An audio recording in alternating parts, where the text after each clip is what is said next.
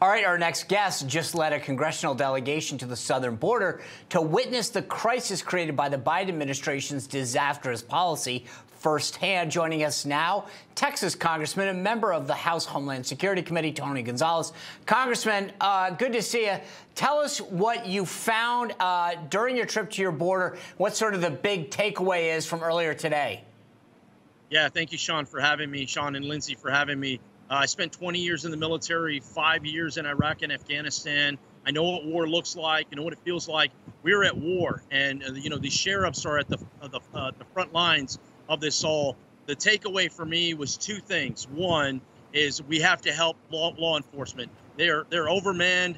Un, uh, I mean, they're undermanned, overpowered. They need help now. The other takeaway is we visited an unaccompanied child facility in Uvalde. No one talks about this. There's literally tens of thousands of children that are being uh, let go into the country. Nobody's nobody's looking out for them. There was a five-year-old little girl there. It's heartbreaking.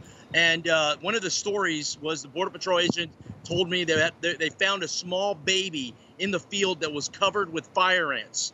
And thankfully, they found it. They found the baby in time to save it. It's absolutely hell on the border, and this has to stop. That's unbelievable to hear, especially as you hear these stories of the children um, that are unaccompanied, especially at that age.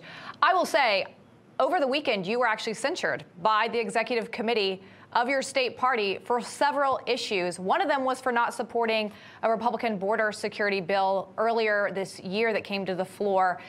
So, how would you defend that? If the border is, is this bad, what is the solution from your standpoint? Yeah, first off, that bill never came to the floor. And what if I told you, Lindsay, most things in politics are and so I'm not interested in the BS. I'm interested in actual solutions. This is my district. I don't want to blame Democrats. Uh, we who who cares how we got here? Yes, Democrats are terrible. Yes, they want to blame Trump for everything was, that was that's wrong. I get all that. I am looking for real, tangible solutions that help the people in my district today not three years from now. So, a lot of things in politics, including those on the Republican side, like this Border Safety and Security Act, are total BS that have 0% chance of passing into law and helping helping people along the border. What am I looking for? I'm looking, you want to get to the root cause of the issue? You label cartels as terrorist organizations. I dropped this bill three years ago. I've been working to do that. You want to do something else? Right now, cartels are using drones to fly them across the border, dropping fentanyl and doing other things. Arm Border Patrol agents and let them shoot these drones out of the air. There's a lot of things we can do in Congress, and I'm not just going to go along to get along. If I get censored for it, then oh, oh well. So, I, and I get that. I, I, think what you just said makes sense in terms of you, it's it may not just be one or the other, right? But the question is kind of like the way I look at energy policy. Why not all of the above? So why not say do what you're doing? But also do the others. Meaning, is there something wrong in the Republican bill that got put forward that was bad versus is it one or the other? I'll give you I'll give you an example. You know, today we went to this unaccompanied child facility. I looked at a five-year-old little girl that was dumped on the side on the other side of the river uh, by cartels. Absolutely horrific.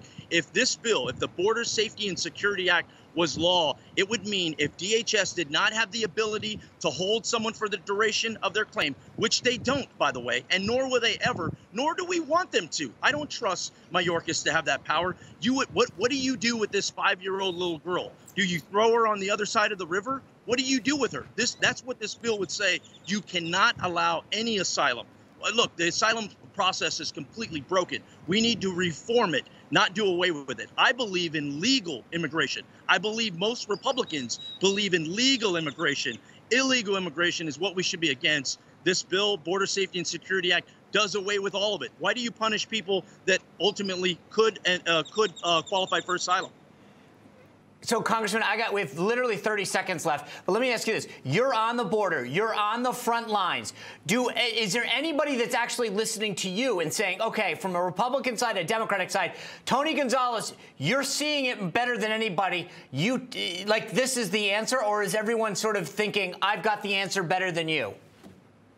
I've hosted a 100. I've hosted a 100 uh, over 100 Republican members of Congress at the border. I, I, certainly have respect among my colleagues. I just I just met with a Democrat senator last week. I met with the White House a couple of weeks ago. A lot there's an opportunity for a solution here. Now that solution doesn't include amnesty. That solution doesn't include pathway to citizenship. If you want to start with immigration reform, you start with border security. I'm committed to that.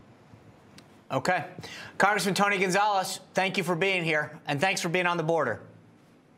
Thank you, Sean.